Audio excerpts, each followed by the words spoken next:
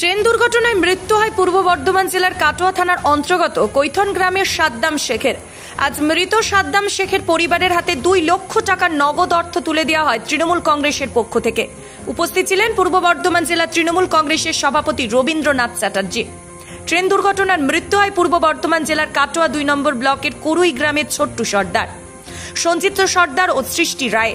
এদিন মৃত পরিবারের সদস্যদের সঙ্গে দেখা করে দুই লক্ষ টাকা চেক তুলে দেওয়া হয় তৃণমূল কংগ্রেসের পক্ষ থেকে। উপস্থিত ছিলেন পূর্ব বর্ধমান জেলা তৃণমূল কংগ্রেসের সভাপতি রবীন্দ্রনাথ চ্যাটার্জি, কাটোয়া দুই পঞ্চায়েত সমিতির সভানেত্রী নিষাদ কাটোয়া দুই ব্লক তৃণমূল কংগ্রেসের সভাপতি পিন্টু মণ্ডল, জেলা পরিষদের সদস্য তুষার সামন্ত সহ অন্যান্যরা। আজকে কুরুই ও কৈথন গ্রামে গিয়ে মৃত পরিবারের সদস্যদের সঙ্গে দেখা করলেন সমবেদনা জানান কাটোয়ার মহকুমার শাসক অর্চনা পি ওয়াং খেরে উপস্থিত ছিলেন কাটোয়া দুই ব্লকের বিডিও পুষ্পেন্দু সাহা। সমবেদনা জানালেন মহকুমা শাসক। পূর্ব বর্ধমান থেকে রাহুল রায়ের রিপোর্ট বাংলা সার্কেল নিউজ। কোথায় এসছেন কার বাড়িতে এখানে কৈতনের সাদ্দামের বাড়িতে এসেছি। সাদ্দাম করদাম করমণ্ডল এক্সপ্রেসে যাচ্ছিল। যাওয়ার পথে তো ট্রেন অ্যাক্সিডেন্ট হয়।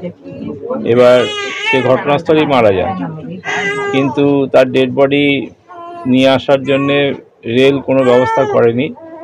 আমি যত শুনলাম, এরা বাড়ির গহনাপত্র বন্ধক রেখে অ্যাম্বুলেন্স ভাড়া করে ডেড বডি নিয়ে এসছে। এর থেকে আক্ষেপের কিছু হয় না। তা রেলকে আমরা লিখব এই ব্যাপারে যে রেলের একটা সবচেয়ে বড় ইনফ্রাস্ট্রাকচার ভারতবর্ষের মধ্যে।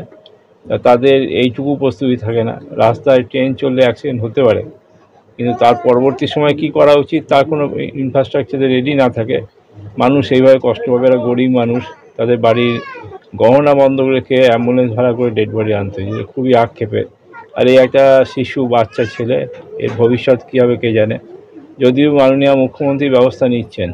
এবং আমাদের দলের মাননীয় সাধারণ সম্পাদক অভিষেক বন্দ্যোপাধ্যায় দলের সামর্থ্য অনুযায়ী আজকে পূর্ব বর্ধমান জেলার দশজন এরকম মারা গেছে করমণ্ডল এক্সপ্রেস তাদের পরিবার পিছু দু লক্ষ টাকা করে সাহায্য দেওয়ার জন্য বলেছেন আমরা ধরে দিচ্ছি।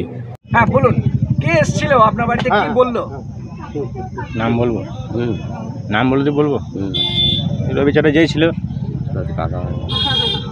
এসে অনেকে টাকা নাকি সহযোগিতা করল সহযোগিতা করল পাশে দাঁড়াইলো। পাশে দাঁড়াইলো সহযোগিতা আগেও করেছে এখনও করছে।